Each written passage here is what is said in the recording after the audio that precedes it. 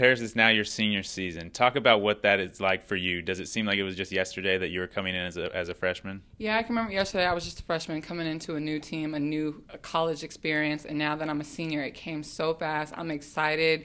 I'm ready to start the season. Um, but as far as you know, there was a transition, a freshman becoming into a senior. There was hard work as a whole team. The teams bec- it became further um, as a top college uh, basketball team, and I'm excited that we went from so little to something so big now.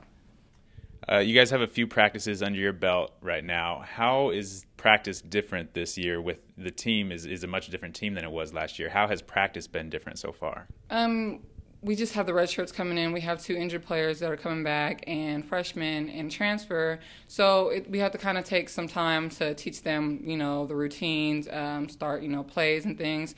So it's gonna, it's kind of hard for a whole bunch of new people. Coach Burns, she focuses on more on helping them, and as three leaders, me, Coco, and JB, we have to help her help them as well. So it's a little different from last year because everyone knew basically everything because it wasn't a new new team.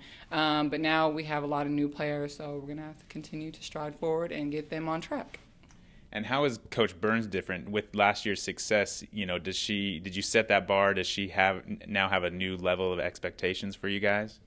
Um, I think she, yeah, I think she does. Um, you know, we don't have a Jené Morris, we don't have a Quenese Davis, but we have a Coco, we have a JB, we have a PJ still, and then KT, and then the new people coming in. They're going to be a lot. They're going to bring a lot to the table, and you know, she's going off from last year. She expects everyone, the returners, to help the young ones to get on the same page so we can continue what we've been doing.